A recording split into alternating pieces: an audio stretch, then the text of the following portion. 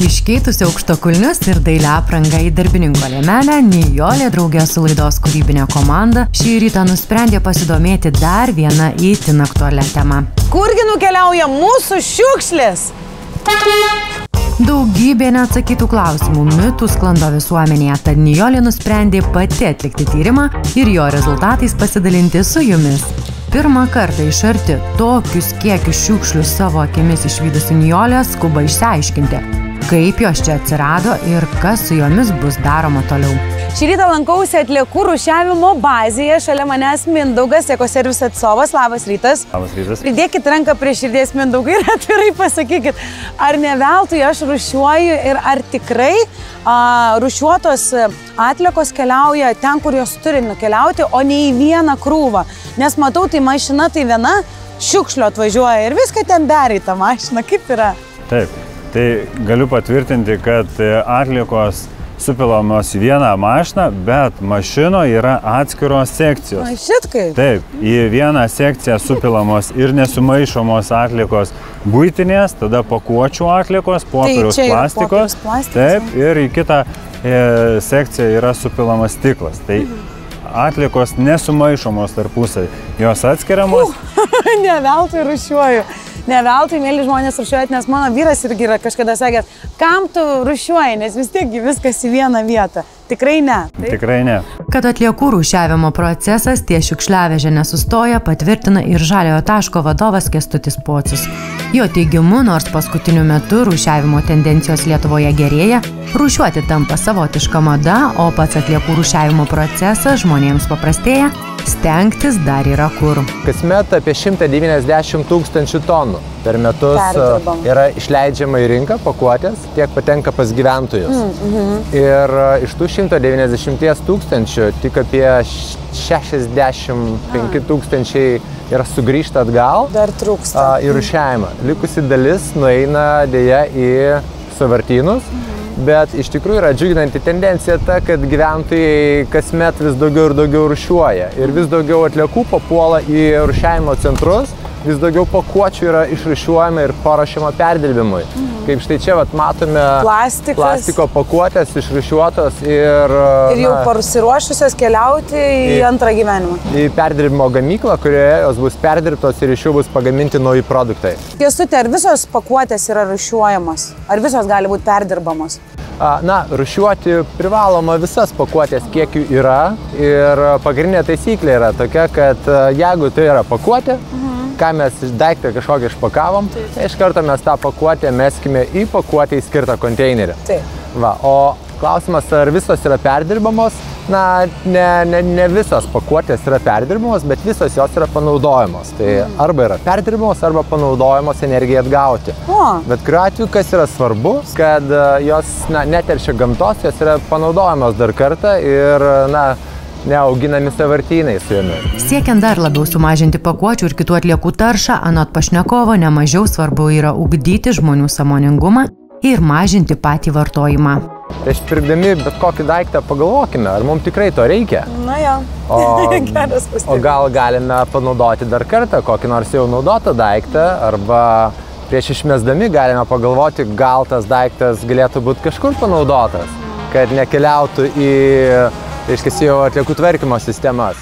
Šiuo metu veikianti atliekų rūšiavimo sistema neįpareigoja mūsų atskirti, ar pakuotė gali būti perdirbama ar ne.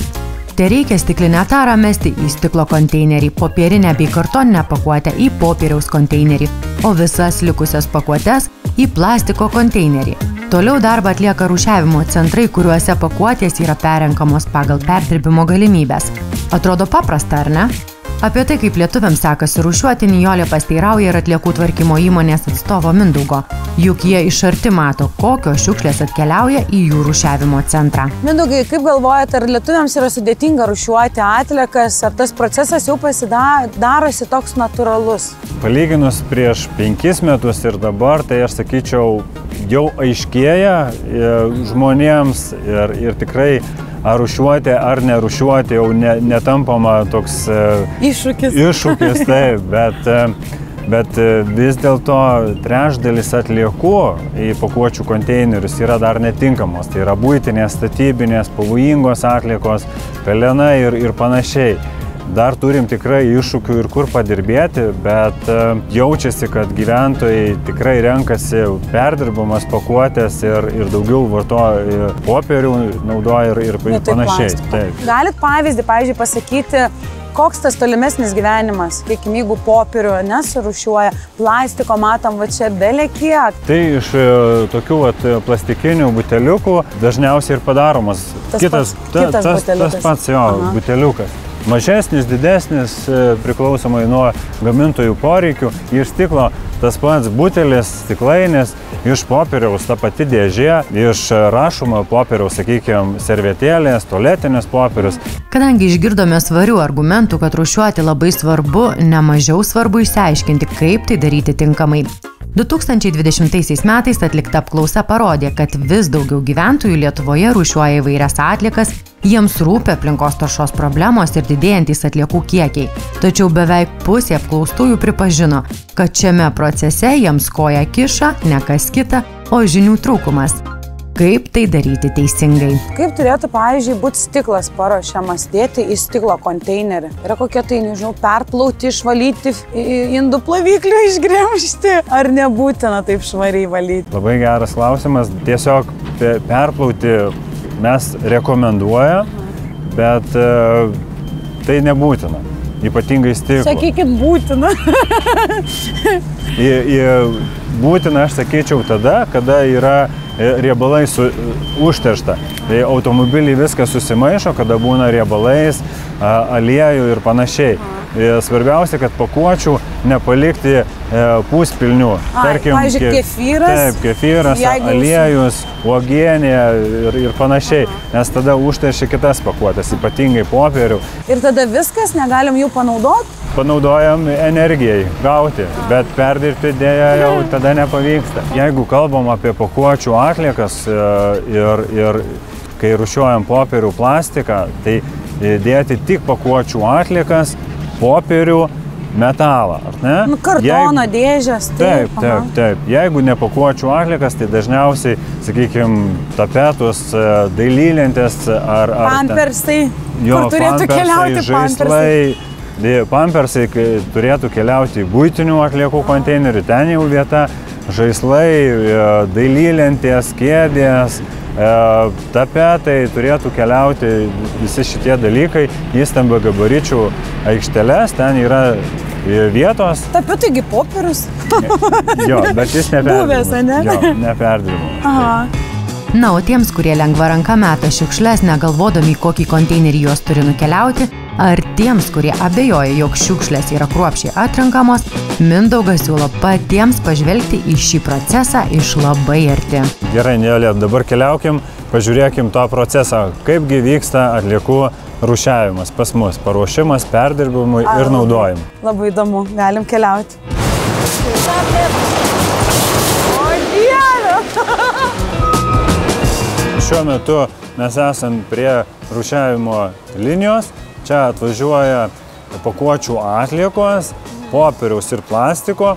E, Įranga, kaip minėjau, e, atskiria pakuotės pagal jų dydį, fizikinės savybės, tai reiškia pirmoje vietoje suplėšo maišus, tada atskiriamos... Čia kur dedamės tai tuos maišus, ne, čia Taip. šitą va mašiną Taip. suplėšo ir Taip. tada viską išgeria. Iš, išskleidžia, taip.